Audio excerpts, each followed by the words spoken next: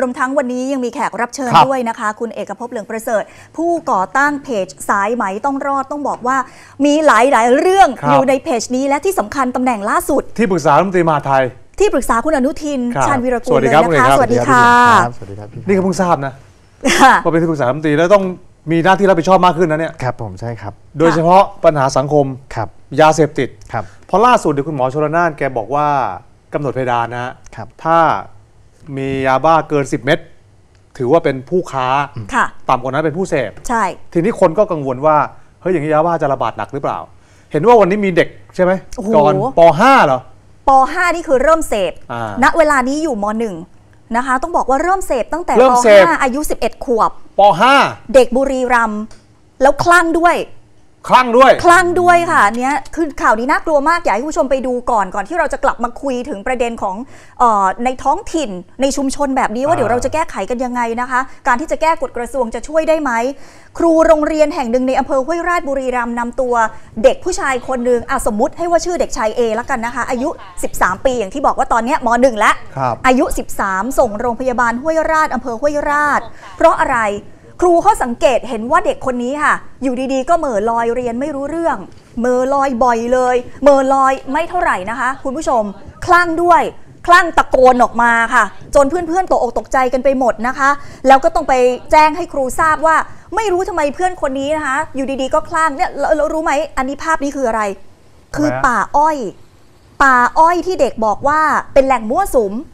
แหล่งมะเป็นแหล่งมั่วสุมยาบ้าเสพยา กันเลย ใช่ค่ะ อารวาสตั้งแต่ม .1 มหนึ่งค่ะตอนนี้อยู่มหนึ่งเสพตั้งแต่ปห้าแล้วตรวจปัสสาวะเป็นฉี่สีม่วง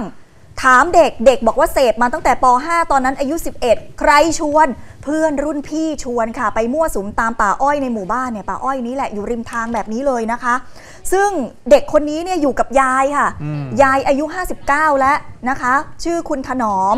คุณคุณยายเล่าแบบนี้นะคะว่าแม่เนี่ย แม่ของเด็กขายก๋วยเตี๋ยว ขายทั้งวี่ทั้งวันก็ไม่มีเวลาดูแลเด็ก ครับ อันนี้ต้องบอกว่าเป็นปัญหาทั่วไปที่เราได้พบเห็นเลยนะคะ ว่าอืมคุณพ่อคุณแม่ไม่มีเวลาดูแลเด็กปุ๊บ ให้เด็กอยู่กับตาอยู่กับยาย ทีนี้ยายเลี้ยงเนี่ยยายก็อยู่กับบ้าน พอลูกออกอะพอหลานออกไปนอกบ้านไม่รู้หลานไปไหนบ้าง หรือว่าไปเสพยาอะไรยายก็ไม่รู้ มารู้ตอนครูมาแจ้งว่าหลานหลอนยาค่ะอุ้ยยายก็ตกใจเลย เพราะ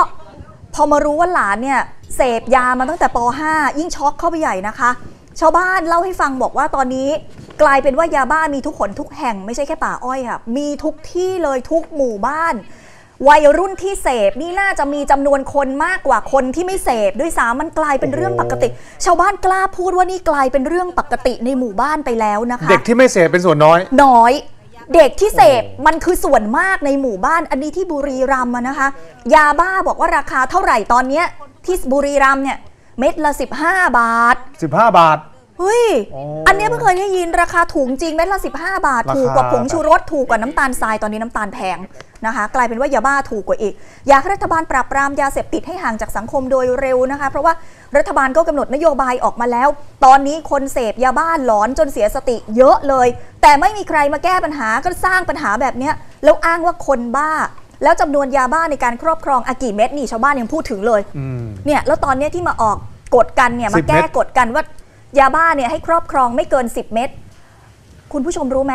ชาวบ้านที่นี่เขาบอกว่า แค่มี 1 เม็ดเนี่ยก็ต้องเร่งแก้ปัญหาแล้วไม่อย่างนั้นในยเยาวชนเนี่ยก็จะเป็นทาสยาเสพติดกันทั่วหน้า ถ้าคุณปล่อยให้ครอบครองได้ 9 เม็ดถูกไหมคะครับคืออันเนี้ยเป็นเหตุการณ์ที่อาจจะไม่ใช่แค่บุรีรัมย์นะใช่หลาย ๆ ที่ก็เป็นห่วงค่ะ ลูกเด็กเล็กแดงเข้าถึงยา อันนี้ไม่นับว่าเด็กเดินยาก็มีนะ ใช่ค่ะ ขายยา เพราะว่าเด็กไม่ถูกจับไงอืมคุณเอกสายไหมนี่ก็ไม่น้อยใช่ไหมเยอะครับเท่าที่จริงๆเคยติดตาม จริงๆเอ่อเคยเจออะไรอย่างนี้ไหมเพจสายใหม่ต้องรอดเนี่ยเราเราทำเรื่องปัญหาสังคมมานานนะคครัรับ บ พี่เถียนดูไหมว่า เรื่องรองนอกจากเอ่อเรื่องการช่อโกง call center เนี่ยเรื่องค่ะ รองเป็นลำดับต่อมา ในการขอความช่วยเหลือของเราคือปัญหายาเสพติด อ๋อ ปัญคืหาอยาเสพติด ส่วนใหญ่ขอร้องร้องเรียนเรื่องอะไรบ้างคะ ส่วนใหญ่เป็นคุณพ่อคุณแม่คนในครอบครัวแจ้งเข้ามา อ๋อ ว่าลูกเขาพี่เขาพ่อเขาเนี่ยอ่า เสพยาเสพติดแล้วคุ้มคลั่งอารวาสค่ะ ซึ่งผมว่าวันเนี้ยมันระบาดและสถานการณ์มันรุนแรงมากกว่าที่รัฐบาลคาดการณ์ไปนะครับ เราจะบอกว่า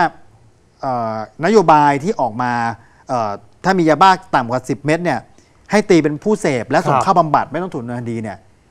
ผมว่านโยบายนโยบายเนี้รัฐบาลเดินมาผิดทางผิดทางผมพูดตรงๆเลยนะ ว่าท่านผิดทางค่ะ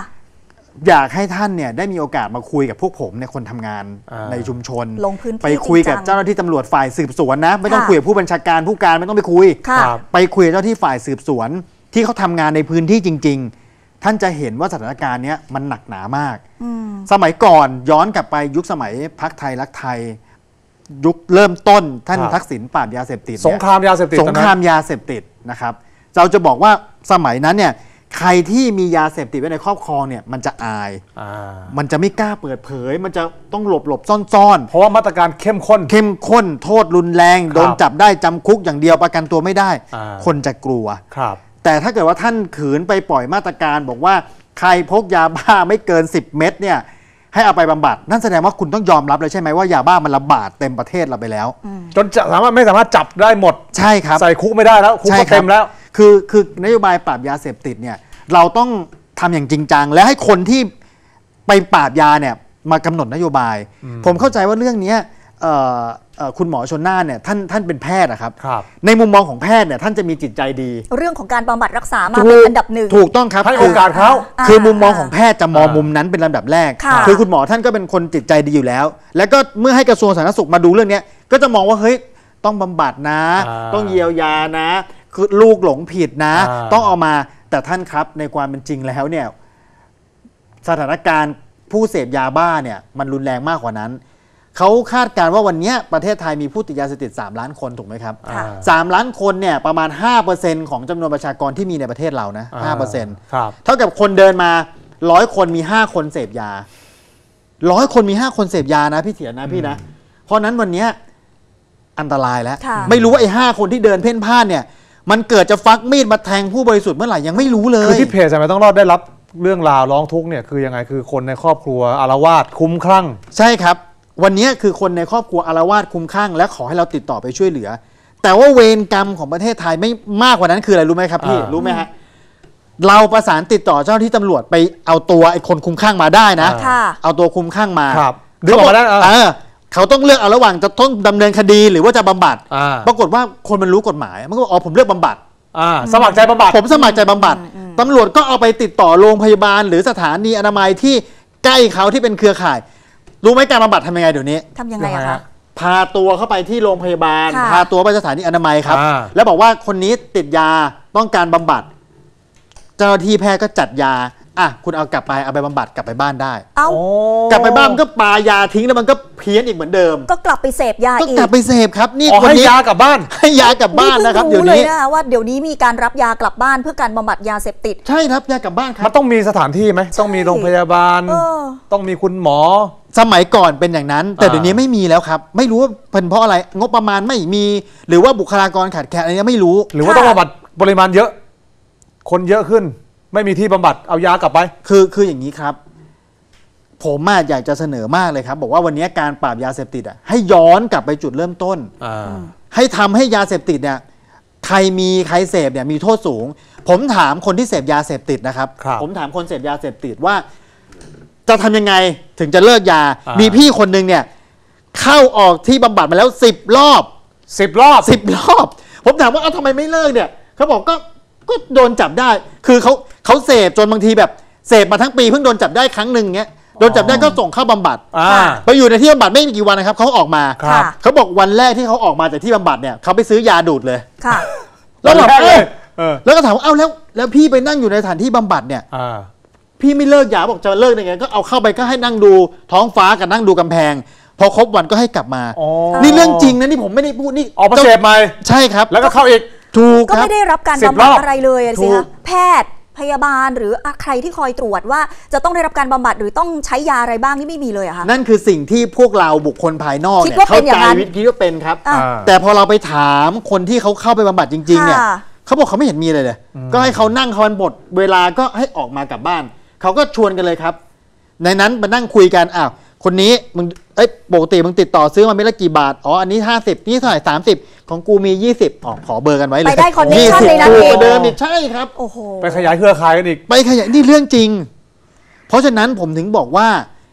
เรากลับไปจุดตั้งต้นนะครับ ค่ะ วันนี้ยาบ้ามันระบาดไปทั่วประเทศเรา ครับ ออกมาตรการอย่างจริงจัง เด็ดขาด เด็ดขาดครับ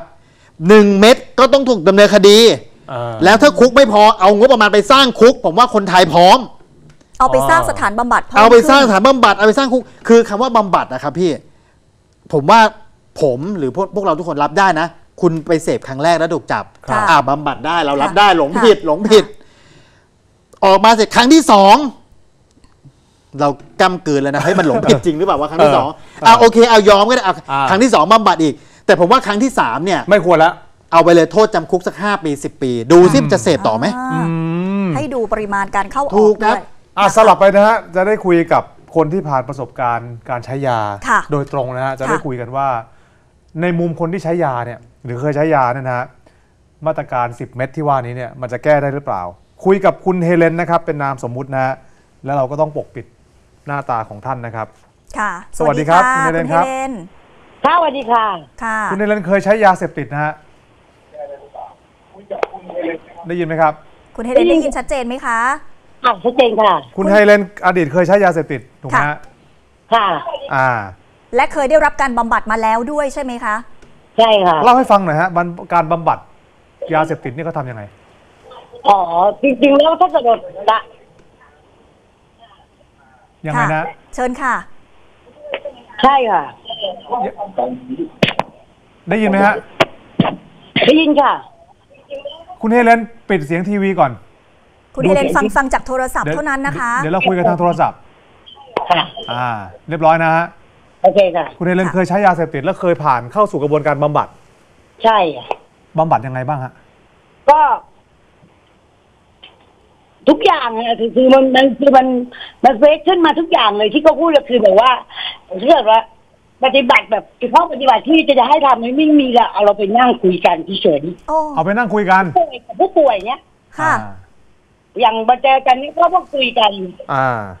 ต่างคนก็ต่างคุยแลกเปลี่ยนความคิดเห็นก็จะมีอะไรครับผู้เสพอ่าผู้เสพแลกเปลี่ยนความคิดเห็นกันคือเรื่องยาอืม อ่าก็คุยเรื่องยาถึงบำบัดจริงๆอะเขาไม่มีนะคะวิทยากรหรือหมอหรือยา ไม่มีทุกเกิดขึ้นถ้ามีแขกเข้าไปเยี่ยมเยือนหรือว่าอะไรเงี้ยเขาถึงจะเหมือนพักชีโรยหน้า เอาตรงๆแบบเนี้ยโอ้โหอ๋ออันนี้คือคุณเฮเลนไปที่สถานบำบัดเลยใช่ไหมคะ อยู่ข้างในมาทั้งอยู่ทั้งเป็นคนคุมคนสอนเป็น ถ้าจะเป็นแบบว่าผู้บำบัดให้เป็นคนสอนเองเลยเป็นวิทยากรไปอะไรทุกอย่างอะอ๋อเขาออกมาแล้วกี่ครั้งครับเนี่ย ก็แบบเขาออกมากี่รอบแล้วครับ นับไม่ถ้วนดีกว่าค่ะ นับแค่จะให้นับนับไม่ถูกเลยค่ะเข้าออกมาหลายครั้งจนนับไม่ถูก ใช่หมายต้คองวามมีคนรับการบำบัดนะคะ เพราะค่ะเขามีนโยบายอย่างนี้จริง โอเคเป๊ะอ่า แต่เขาไม่ได้ทำตามนโยบายนั้นเองนะ ในนั้นไม่ได้ทำตามนโยบาย หมายความว่าคุณเฮเลนเข้าไปบำบัดเสร็จแล้วเนี่ยออกมาเสพยาอีก แล้วก็เข้าไปบำบัดอีกถูกไหมคะ ใช่เพราะออกเดินไม่รู้สึกว่าไปไปบำบัดเลยมีแต่ไปเพิ่มเติมวิชามามากกว่าออกไปเพิ่มเติมวิชาด้วยซ้ำ อืม ใช่วิชาอะไร วิชาอะไรบ้างที่ได้มาคะ ทุกอย่างอะไม่ว่าจะแบบทั้งโจรทั้งอะไรอยากเราเสพนี่ก็ขายอย่างเดียวคราวนี้อยากอะไรใหญ่รู้จักเพื่อนคลองเตยรู้จักเพื่อนอืมที่แบบว่าสบายแล้วคราวเนี้ยเขาแบบว่าเราที่วันเนี้ยอยากพูดเพราะอะไรว่าอยากให้เขาเจ้าหน้าที่ทำตามนโยบายจริง ๆอะอ่าอ่าอ่าที่จะสามารถที่จะอะไรได้ไง คือเขาไม่ทำเลยอ่า ทุกอย่างเราได้แต่ฟังเราไม่ได้เข้าไปดูแต่เราเนี่ย วันเนี้ยที่กล้าพูดคือเราแบบอยากถ้าอยากว่าเป็นส่วนหนึ่งของว่าสังคมอะถ้าจะมีบ้างอะเราก็ยอมอ่า ให้บำบัดจริง อืมๆ อ่า อืมถ้าเกิดมีเจ้าหน้าที่ไปชมไปดูเงี้ยเขาจะเหมือนพักทีเลยนะเอาทางนี้ไปอยู่จุดนี้นะคนนี้ไปอยู่จุดนี้นะโอ้สอนอย่างนี้นะห้าห้าวินาทีพอพวกคุณไปอะเดี๋ยวแยกย้าย อ๋อ แล้วแล้วคุณเฮเลนคิดยังไงกับ อ่าเพดานที่บอกว่า 10 เม็ดขึ้นไปแกเป็นผู้ไม่ค้ามีประโยชน์เลยค่ะ ไม่มีประโยชน์จะแก้ต้องแก้ที่ตัวเจ้าหน้าที่ก่อนยังไงฮะ ก็คือแบบเนี่ยตอนนี้เนี่ยว่าคือสิบเมตร อ่า เป็นผู้ค้าเป็นขายเป็นอะไรก่อนที่จะมาสิบเมตรหรือก่อนอะไรอะ คือเจ้าหน้าที่ต้องพัฒนาให้แบบว่า ตัวเขาว่ามีจิตใจที่แบบพร้อมที่จะแบบบำบัดเราก่อนดีกอ๋ว่าอหมายถึงทางเจ้าหน้าที่บำบัดเนี่ยให้บำบัดไปตามกระบวนการที่ถูกต้องก่อน ใช่อ่าอืมถ้าถ้าให้เข้าไปบำบัดจริง ๆ แล้วไปตามกระบวนการนั้นคุณเฮเลนบอกว่ามันจะดีมากๆเลยถูกไหมคะ ใช่ค่ะ ถ้าอย่างนี้มันตั้งสักศูนย์ร้อยศูนย์พันศูนย์น่ะ ไม่มีทาง เพราะว่าพวกเขาไม่ได้รับการบำบัดจริง ๆ เลยอ๋อมันมียาอะไรต้องกินไหมหรือยังไงฮะไม่มีเลยจริง ๆ แล้วมันต้องมียาแต่คือมันไม่มีอ๋อแล้วก็มีที่เกิดมาก็คือหลังคาแดง บางคนน่ะเขาเสพยาติดยาแต่ เอาเขาไปอยู่หลังคาแดงเขาออกมากลายเป็นคนบ้าเลย เอ้าก็คือไม่ถ้ามีเป็นคนบ้า ไม่มียารักษาแต่ว่าก็ไม่ให้เสพยาก็ก็เหมือนมันน่าจะมีอาการลงแดง ใช่ไหมคะค่ะอ๋อคือเหมือนให้เข้าไปเลิกยาในนั้นอะถูกไหม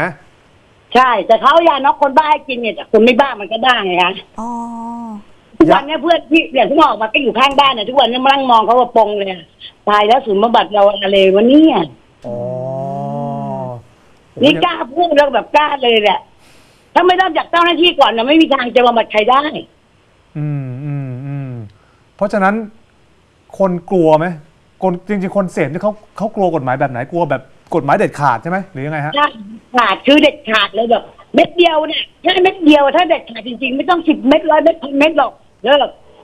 อ่าอ่าเม็ดเดียวยังไงคะเม็ดเจอเม็ดเดียวติดคุกเลย เจอเม็ดเดียวติดคุกเลยอย่างเงี้ย แรงพอไหมคะขาเดียวเด็กทุกเลยก็แรงพอถ้าเราเด็ดขาดคือเราไม่มีความเด็ดขาดยังไง อ่าคุณคุณเฮเลนถามผมถามนิดเดียวถ้าเกิดว่าค่ะเจอยาบ้าหนึ่งเม็ดมีโทษจำคุกสิบปีเนี่ย ยังจะมีกล้าเสพอยู่ไหมครับมือลาก่อนค่ะบ๊ายบายอืมแต่อีกด้านหนึ่งเนี่ยเขาก็ให้โอกาสไงผู้เสพอ้าวเป็นผู้ไปป่บำวบัยดไปไปบำบัดให้โอกาสได้กลับมามีชีวิตปกติ ไม่ต้องไปเข้าไปอยู่ในคุกตาราง ในมุมของคนที่เสพเนี่ยเขาจะเออเฮ้ยกฎหมายเขาก็ผ่อนคลายให้เรานะ แล้วก็ให้โอกาสเรานะจะรู้สึกดีไหมล่ะอะ แบบนี้มักจะเกิดอย่างอะอย่างพวกคุณคิดอย่างนั้นใช่ แต่ที่คนที่เขาเคยให้แบบเราได้รับโอกาสนั้นมาเรารู้ไงเราเข้าไปเอาโอกาสนั้นมาอีกก็เหมือนเดิมคือโอกาสที่มันไม่ใช่อ๋อคนเสพยาได้โอกาส คุณเฮเลนอ่าคุณเฮเลนถ้าเป็นอย่างที่พี่เอกบอกอะค่ะว่า ถ้าเผื่อว่าให้โอกาสสักประมาณสองครั้ง อาจจะเคยเสพแล้วก็เอาอาจจะหลงผิดเข้าไปบำบัด แล้วออกมาเสพอีก ถ้าสักครั้งที่สามอันเนี้ยติดคุกยาว10ปีเลย เลิกค่ะ เลิกนะ ครั้งที่สองแล้วค่ะเลิกตั้งแต่ครั้งที่2แล้วถ้าเผื่อว่าครั้งที่2โดนจับแล้วติดคุก10ปีก็คือเลิกเลย ขอแค่ยาแรงๆอย่างนี้ ขอให้โทษหนักๆ แบบนี้ถูกไหมคะใช่ค่ะอืมอืมไม่จำเป็นจะต้องสิบเม็ดร้อยเม็ดยี่สิบเม็ดเม็ดเดียวแต่ขอให้แบบ เราแบบว่ามั่นคงแล้วแบบเอาหนักๆเลยอะ คือมันไม่อ่อนไปนเจ้าหน้าที่คือแบบเขาไม่ใช่ไงฮะครับครับแต่ถ้าจะบำบัดต้องบำบัดให้มันให้มันชัดเจนให้มันถูกต้อง ใช่อะ เออโอ้ยอย่างนี้แสดงว่าคุณเฮเลนอันนี้ผมถามนะในในกลุ่มบรรดาคนที่ใช้ยาด้วยกันเนี่ยเขาก็รู้หมดสิอ๋อจับเหรอ ไปบำบัดอืมเดี๋ยวก็ออกมา ออกมาเสพต่อบางทีสิบสามสิบสองวันก็ออกแล้วนั่งรอออกก็เมื่อจะเรียกชื่อกูว่ารอแล้วแต่งตัวรอเอาอะออกไปก็มันไม่ได้เลิกอะถูกไหมอ่าใช่พอลงยังไม่ทันลงรถเลยค่ะเพื่อนถึงไฟรอแล้วถือฟอยล์รออะ เอาเล่นแล้วมาดูกันเลยโอเคไปพากันไปรวมเงินกันซื้อดุดวันนั้นเลยอะโดนจับเสร็จก็เข้ามาอีกเหมือนเดิมอ้าวเจอเพื่อนเก่าอีกเป็นเด็กอีกอะออกเป็นเรื่องที่แบบเหมือนปาร์ตี้ไปเลยค่ะ คืออ่าเจ้าหน้าที่เขาต้องแก้ที่เจ้าหน้าที่ก่อนอ่าอ่าอ่าอ่าอันนี้คืออ้าวสุดท้ายนะโอเคจบหมด คุณเฮเลนอยากที่พวกเอกเป็นอยากจะบอกอะไรกับคนที่กำลังจะกำหนดนโยบายนะในฐานะที่เป็นกลุ่มเป้าหมายแล้วเนี่ยเชิญนะค่ะ เชิญนะก็วันนี้ก็ได้อยากจะขอบอกว่าก็ดีใจที่ได้มาพูดนะคะ อยากครับให้เอ่อท่านน่ะลองเปลี่ยนความคิดให้แบบเจ้าหน้าที่นะทำแบบแบบ จริง ๆอะค่ะไม่อ่อนหรือว่าเขาจะมีอะไรที่แบบซับซ้อนหลายอย่างอะอืมลองเปลี่ยนความคิดมาดูว่าต้นต้นพัวก่อนคือเจ้าหน้าที่ ถึงเจ้าหน้าที่ฉันพอปุ๊บเนี่ย จับไม่ปล่อย จับไม่ปล่อยลองจับไม่ปล่อยเงี้ย จบเลยเลิกอืมอืมอืม แค่แค่ขาเดียวเนี่ยคนหนึ่งส่วนสี่ขาเดียวเนี่ยคุณลองจับไปเลยสิบปี เลิกใครก็ไม่กล้า เพราะทุกคนไม่อยากเข้าไปอยู่ข้างในเพราะมันอึดอัดแออัดค่ะ อืมอืมอืมได้ตอนคเนี้ยรับก็คือจริง ๆ เลยตัวจริงที่จะต้องเปลี่ยนแปลงเลยคือเจ้าหน้าที่อ่าอ่าอ่าศูนย์บำบัดต่างๆนะคะ ใช่ทีนี้ถ้าถ้ามันกำจำนวนเม็ดมันต่ำลงเนี่ยเราเผลอๆอาจจะเป็นช่องทางในการรับสินบนของตำรวจไหม เท่าไหร่ก็รับได้ถ้าอยากจะรับสิสิบเม็ดก็รับได้สิบเม็ดหรือเท่าไหร่ก็ได้แล้วแต่ถ้าตำรวจเขาจะรับสินบนเขาจะเอาอะ ไม่จำเป็นจะสิบเม็ดหรือว่าแค่ที่ผมก็ได้ยังต้องลงจ่ายเลยถ้าคิดจะเขาจะเอานะอ่า แต่ถ้าเด็ดขาดคนก็จะกลัวใช่เด็ดขาดเนี่ยเท่าไหร่กูก็ไม่เอาไม่จับ อ่าได้ฮะค่ะขอบคุณนะครับ ขอบคุณนะครับคุณขอเรบนคุขณอบคุคุณณเฮครับเลนค่ะ เออค่ะ นี่ต้องขอบคุณจริง ๆ เพราะว่าโอ้ย มาถ่ายทอดให้ฟัง ต้องบอกว่าหลาย ๆ อย่างเหมือนกับที่คุณเอกบอกเลยครับนะคะ ว่าเรื่องของการบำบัดเนี่ยครับ นี่เราเพิ่งรู้ครั้งแรกว่าเข้าไปแล้วไม่ได้บำบัดจริงอย่างคือที่เคยรู้เราได้มยินว่าเออบำบัดก็ดีนะถูกไหมใช่ ครับเป็นคำบวกอะให้โอกาสเข้าไปเปลี่ยนแปลงหวังว่าเขาจะเปลี่ยนแปลงอะหลงผิดค่ะ บำบัดรับยา ค่ะ มีกระบวนการทางการแพทย์ค่ะ ออกมาเออ เป็นคนปกติ ไม่แนวเก่งคิด แนวแนวคิด มันเป็นแนวคิด แนวคิดของพวกเราพี่คิดอย่างนั้นค่ะเพราะเวลานโยบายออกมาบอกว่าโอ้เดี๋ยวส่งไปบำบัดนะครับในสถานที่บำบัดจะมีหมอมีพยาบาลมีเจ้าหน้าที่มียาให้กินค่ะนั่นเป็นแนวคิดที่ค่ะเราจินตนาการไว้บนฟ้า แต่ในทางปฏิบัติเนี่ยอย่างที่คุณเฮเลนพูดเมื่อสักครู่นี้ เหมือนข้อมูลที่ผมได้มาเป๊ะอืมค่ะมันไม่มีอืมไปถักทอเครือข่ายด้วยซ้ำขยายใช่เจอครับเพื่อนเจอ แก๊งใช่อื่นๆเห็อีกนบอกว่าใช่ไม่ได้ไม่ได้ได้ความรู้แค่เรื่องของยามากขึ้นนะคะ ที่จะว่าจะไปเป็นผู้ค้าได้ข้อมูลเรื่องของการเป็นอาชญากรมากขึ้นอืมเป็นโจรเป็นอะไรมากขึ้นได้แหล่งอีกซื้อยาใหม่ๆอีกใช่โอ้โหถูกๆอีกใช่น่ากลัวนะครับที่เอ่อนโยบายเรื่อง 10 เม็ดเนี่ย ผมว่าน่ากลัวอ่ายิ่ยิ่งเอ่อตัวเลขผู้ติดยาเสพติดมี 3 ล้านเนี่ยค่ะถ้าเราอนุญาตให้เขาเขาถือได้ 10 เม็ดแล้ว แล้วถ้าเขาบอกว่าเอ้ยเขาเป็นผู้เสพสมัครใจสมัครเนี่ย น่ากลัวมากนะอันนี้ครับไม่นับเด็ก ๆ ที่เดินยาตามที่เราทราบอะครับอายุต่ำกว่า 14 ก็ไม่ต้องครับไม่ต้องโดนจับ ถ้าอย่างนั้นพ่อค้ายาเสพติดรายย่อยเนี่ยครับค่ะเขาไปถึงปุ๊บเขาก็หาเด็กเดินยาเขาสักสิบคนเอ้ยมึงเอาไปคนละสิบเม็ดสิบเม็ดมึงเอาไปส่งยาหน่อย ดูตำรวจจับก็บอกอ๋อมีไว้เสพเอง คนละเก้าเม็ดคนละเก้าเม็ดแล้วเป็นเยาวชนไม่อีต้อกงถึงสิบถูกครับอืมมันจะระบาดแค่ไหนเออทำไมเราไม่ตัดต้นตอว่ามีเม็ดเดียวก็ผิดอืมเราใช้ยาแรงแบบที่บอกแต่มันจะไม่มีปเลยมุมให้โอกาสคนไงคือบางทีอ๋อเสพหนึ่งเม็ดมันก็จะเฮ้ย อาจจะไม่ได้ตั้งใจพี่ หรือทดลอง เราให้โอกาสมาเนี่ยกี่ปีแล้วเนี่ยเรื่องยาเสพติดเนี่ย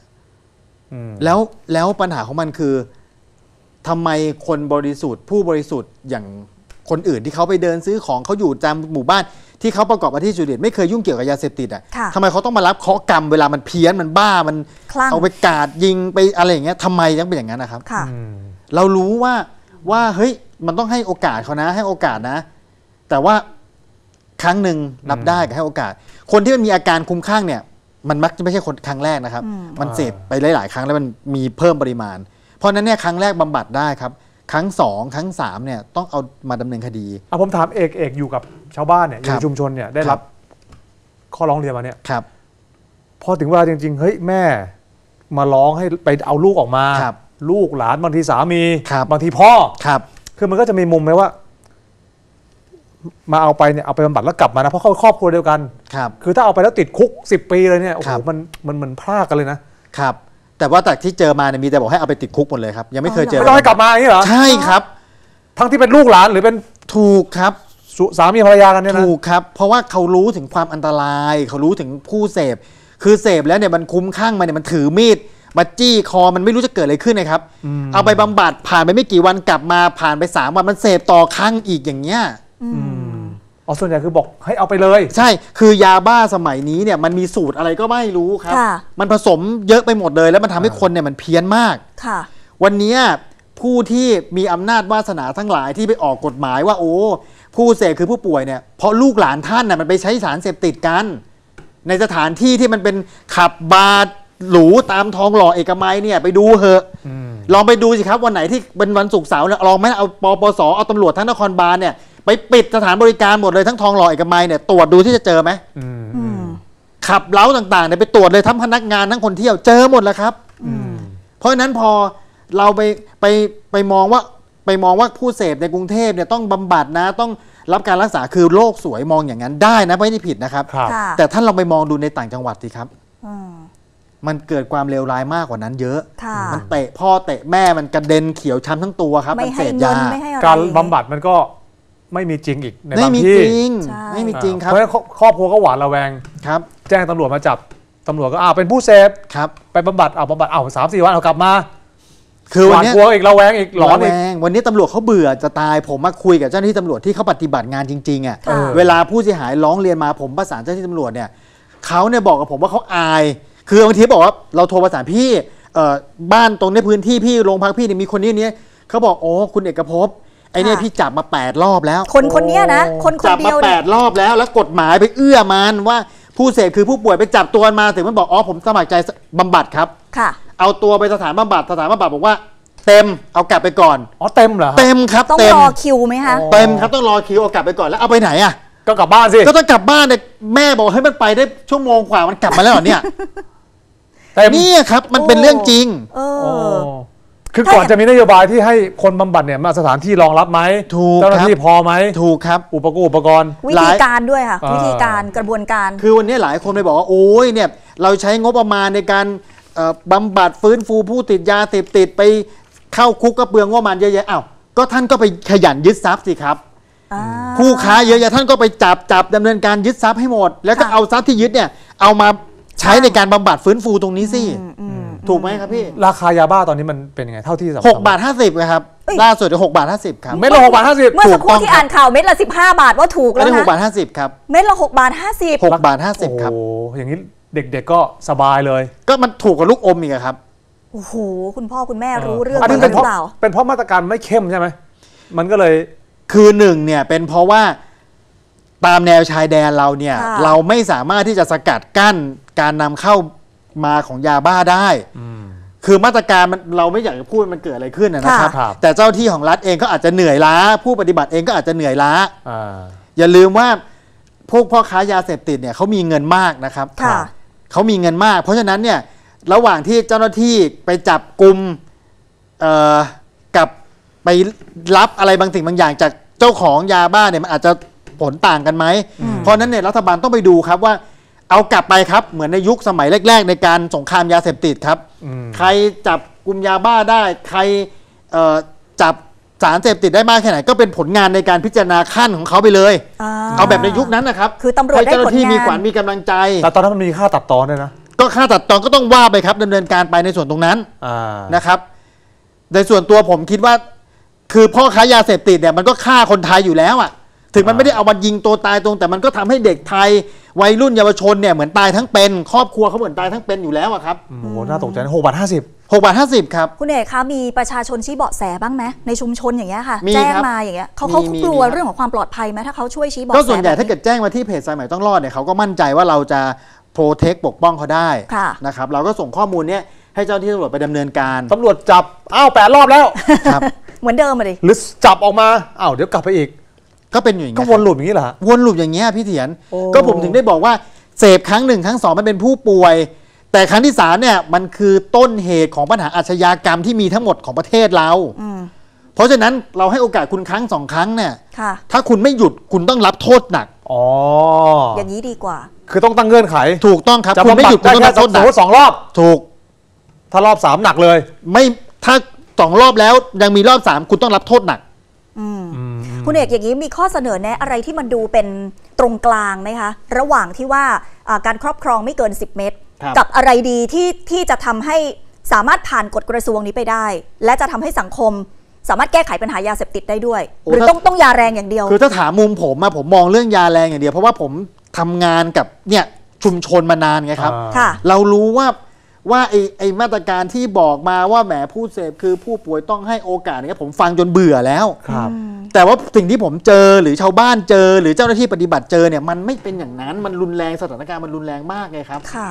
เราถึงได้บอกว่าเราสงสารพี่น้องประชาชนที่เขาต้องเจอกับเหตุการณ์แบบนี้ สงสารพ่อที่ต้องเจอลูกเสพยา สงสารแม่ที่ต้องเจอลูกเสพยาแล้วเตะแม่จนตัวเขียวตัวช้ำสงสารภรรยาที่ตั้งครรภ์ แล้วสามีเนี่ยเอาเงินที่มีไปเสพยาหมดกลับมาบ้านไม่มีเงินจะกิน มาทำร้ายเขาผมสงสารเหล่านี้มากกว่า ซึ่งเชื่อว่าถ้ามันใช้ยาแรงฉีดไปเลยเนี่ยความกลัว แน่นอนก็เมื่อกี้เนี่ยคุณเฮเลนเนี่ยครับที่ชัดเจนมากอ่าเข้าออกมาแล้วหลายครั้งแต่บอกว่าถ้าเกิดคุณมีโทษจำคุกสิปีคุณกล้าเหรอเขาก็ปฏิเสธเขาบอกโอ้โหเขาเขาจะเอาทำไมอ่าแต่ถ้ารู้ว่าอ๋อจะจับอ๋อบำบัดสมัครใจบำบัดครับอ่าเข้าไปเอาเจอเพื่อนครับโอ้มันไปเที่ยวเลยนะครับ กลับมาเอาเสพใหม่เอากลับไปอีกครับ เรียบร้อย คือคือวันนี้เราไปนั่งมองว่าแบบโอ้ผู้เสพต้องหน้าคือผู้ป่วยทำไมเราไม่บอกเขาอะครับว่าห้ามเสพ การเสพยาคือมีความผิดร้ายแรงในประเทศเราทำไมไม่บอกอย่างนั้นนะครับ อืมถูกไหมฮะอืมทำไมเราต้องไปนั่งบอกโอ้มามากอดหน่อยกอดหน่อยผู้เสพเหรอมากอดหน่อยกอดหน่อยมาบำบัดเลิกเสพนะ หน่อย เลิกเสพนะ เราเราใช้ยาแรงจนถึงขั้นเหมือนกับมาเลเซียหรือสิงคโปร์ได้ไหม อันนั้นเขาคงแรงมากโทษประหารชีวิต แต่ว่าผมของว่าเราก็สึกไม่ได้ไม่ได้ขนาดนั้น แต่เราแรงได้ถึงขั้นไหนคะผมว่าเราก็ศึกษาข้อมูลเขาได้นะครับถ้าเกิดเขาประสบผลสำเร็จในการแก้ไขปัญหาครับอ่าเพราะวันวันนี้ถ้าเราไปถามหัวหน้าหน่วยงานระดับท่านรัฐมนตรี ท่านปลัดกระทรวงอธิบดีเนี่ย ซึ่งไม่ใช่ไม่ใช่ผู้ปฏิบัติในระดับล่างเนี่ยค่ะครับเขาจะไม่เข้าใจผมเชื่อมันอย่างนั้นนะจะไม่เข้าใจซึ่งซึ่งท่านก็จะมีแนวความคิดว่าโอ้มันมนุษย์คือสิ่งประเสริฐนะอ่าเขาหลงผิดไปแล้วเออเออหลงผิดไปแล้วต้องไปแก้ไข ซึ่งถามว่าอย่างนั้นมีไหมมีครับอ่าลูกๆหลานๆเรามีไหมมีเออ ที่การหลงผิดมีเราต้องเอาเขากลับเข้ามา เนี่ยคือพอเด็ดขาดคุมไปหมดปุ๊บไอ้พวกอย่างเงี้ยไอ้พวกที่หลงผิดเฮ้ยตัดสินใจพลาดไปครับไม่ได้โดยสันดานนะครับ ก็จะโดนหวานแหโอ้โหติดคุกก็สองอนาคตครั้งไง หมดไปเลยสองครั้งไงพี่เถียน อ๋อเอาไปสองครั้ง คุณเอกบอกว่าให้ตรงกลางคืออ่าสองครั้ง ถ้าครั้งคือที่ถ้ามึงสามมาเนี่ยซ้ำเนี่ยแสดงว่า เออ ถูกอ่าคือคือครั้งแรกพลาดไปแล้วอ่าให้โอกาสมาซะ ให้โอกาสอีกครั้งหนึ่งครั้งสองมันอาจจะมีนะ ค่ะ สมมติครั้งแรกไปบำบัดหนึ่งเดือน อ่า สมมติบำบัดหนึ่งเดือน ครั้งสองมึงเอาไปสามเดือนอ่าเอาไปบำบัดสามเดือนเลย ถ้าใครครั้งที่สองก็สามเดือน อ่า แต่ถ้าเกิดครั้งที่สามเนี่ยไม่ใช่แล้ว อ่า ไม่ใช่แล้ว คุณเนี่ยคือต้นทานเลย ของกระบวนการยาเสพติดทั้งหมดค่ะไม่ควรได้โอกาสแล้วไม่ควรได้โอกาสอ๋อไม่ควรได้โอกาส เราเราจะต้องใช้งบประมาณไปกับการสร้างคุกเราก็ต้องท